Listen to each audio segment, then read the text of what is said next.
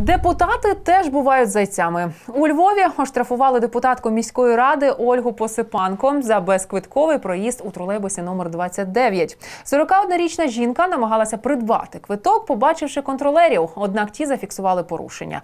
Опісля, зі слів представників Львів електротрансу, Посипанко намагалася владнати інцидент, зателефонувавши працівникам мерії, та все ж сплатила 140 гривень штрафу. Зазначимо, що депутати мають право на безкоштовне користування громадським транспортом на території їхньої ради. Проте через пандемію коронавірусу та локдаун усі пільги на проїзд у цей період у Львові скасували.